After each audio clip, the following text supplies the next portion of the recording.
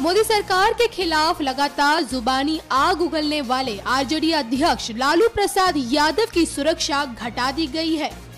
NSG commando के घेरे में चलने वाले लालू प्रसाद यादव अब सीआरपीएफ कमांडो के साथ चलेंगे। मतलब जेड प्लस सुरक्षा में चलने वाले लालू यादव की सुरक्षा को जेड श्रेणी में तब्दील कर दी गई है। इसके लिए केंद्रीय गृह मंत्री के कार्यालय से सुरक्षा वापसी का आदेश पटना गृह विभाग को भेजा गया है। लालू यादव काफ़ी पहले से जेट प्लस सुरक्षा में चल रहे थे, लेकिन अब उन्हें सिर्फ़ जेट श्रेणी की सुरक्षा में ही रहना होगा। लालू यादव और उनके दोनों बेटे पिछले दिनों से मोदी सरकार पर निशाना साध रहे हैं। कहा जा रहा है कि केंद्र का ये कदम लालू के उग्र रवैये का ही उत्तर है। इसी साल जुलाई के महीने में लालू और राबड़ी दोनों को ही केंद्र ने एक साथ झटका दिया था।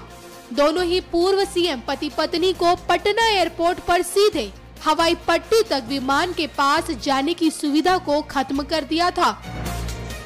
वैसे ताज़ा फैसले के बाद से सियासी फिजा की नई हवा में जो बातें चलने वाली, उसकी सुखबुगाहट शुरू हो गई है। तो ये तय मानकर चलिए कि घटाई गई सुरक्षा के बहाने ठंड के इस महीने में सियासत गर्म होने वाली है। न्यूज़ एक्सप्रेस की रिपोर्ट।